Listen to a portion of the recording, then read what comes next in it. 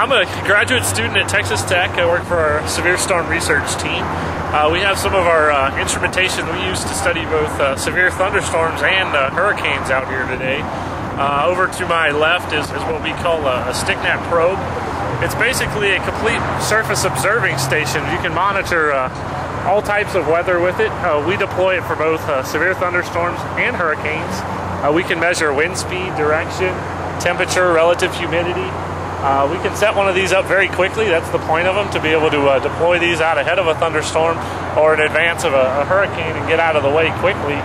Um, we measure um, all the, the basic meteorological variables. And uh, the idea is to just saturate an area with observation. So if there's an event, even if it's not a severe thunderstorm, if something we want to look at, we can deploy a whole bunch of these uh, out ahead and actually uh, try to document the event and uh, try to do any type of uh, ongoing research that uh, someone has an interest in.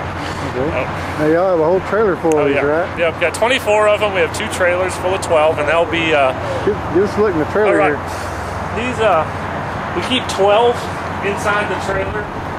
each has a data acquisition box, also a very large external battery that we use for hurricanes.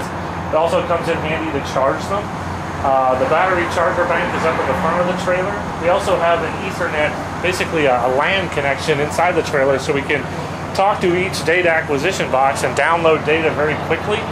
Um, so when we're in the field, say after a hurricane, we can download the data, you know, almost immediately as soon as we pick them up.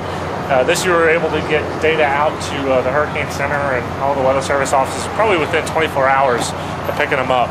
So uh, that's that's the goal is to, to get that data out as quick as we can.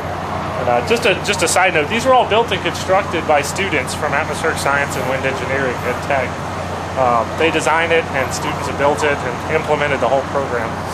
Now I heard a little anecdote earlier about one that was on the Bolivar Peninsula. Oh yeah, yeah. Uh, one of our probes got we, we deployed it at Fort Travis on the Bolivar Peninsula for Hurricane Ike. Well, we couldn't get back to it because of storm surge damage, and pretty much there was no way to get down there.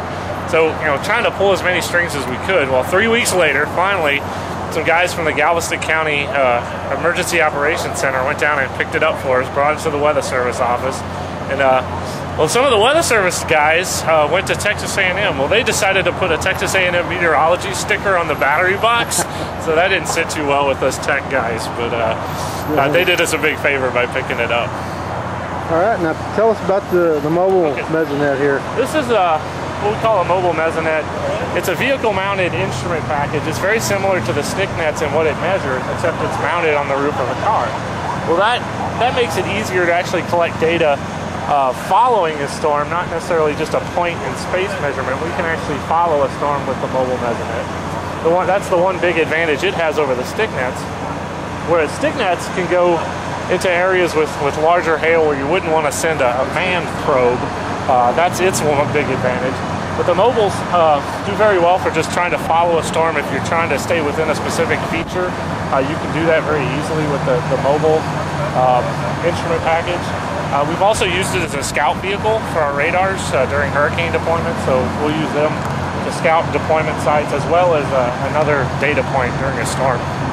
You'll have a pretty good big program playing this year, right? Oh yeah, this tech will be a huge part of the new Vortex, I guess, second generation Vortex project. Uh, the StickNets will provide the primary surface observing station for the whole project. And we'll use all 24. And we'll also take our, our mobile radar out uh, for a portion of that project.